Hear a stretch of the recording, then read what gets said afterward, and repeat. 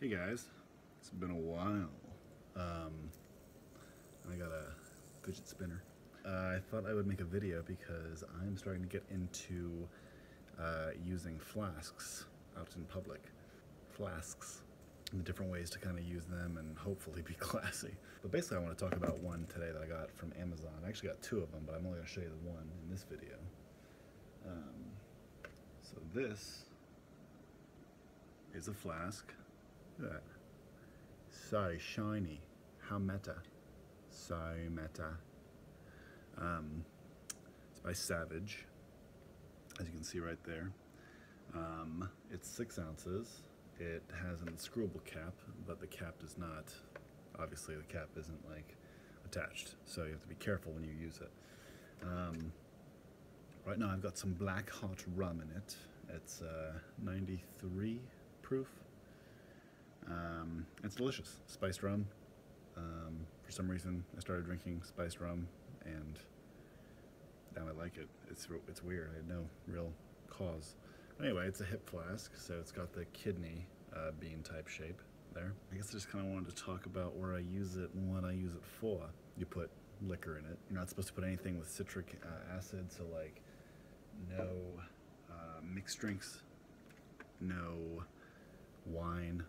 Um, yeah, mainly just like stick to your liquors whiskey, rum, vodka, tequila, you know, those.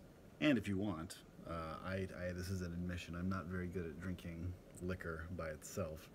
Um, I'll put in like five parts of a six ounce uh, flask. I'll do five ounces liquor, one ounce of water, just to make it a little more palpable for me, um, which totally works as well. Where to bring it? Where do you bring a flask? Well, I live in New York City, right? And the average drink is about $30 a drink. Let's I'd say average is probably like nine, nine to 10 bucks. Uh, unless you're just at like a dive bar and you're drinking beer. Um, if you want to get like whiskey, liquor drink, something like that, it's probably gonna be around nine bucks, nine to 10. And that adds up, you know, that's, that's a lot, quite a lot of money after a while. Uh, if you just go out and have like three drinks, three, four drinks. What I do is I'll bring a flask with me, whether it be to a bar, to a children's uh, recital, you know, pretty much anywhere. You can bring a plastic flask to like baseball games. You can bring to the park, picnics, whatever. Just even walking to an AA meeting, whatever. But you can bring it there and then order like soda water.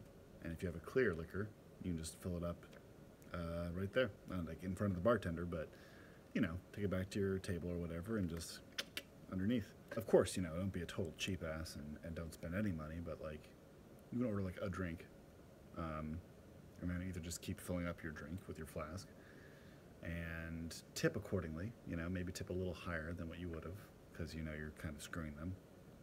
That's how you do it in a bar, I guess. What I'm really liking is just taking it to like, obviously people take it to the movies, um, Broadway shows, I guess. I did take a flask to a theater show the other day, and you can just sit there and like sip it. Nobody, no one says anything in New York, so like it's kind of funny that people might be like, "Oh, I don't know if I should do this," because no one's ever said anything in New York City.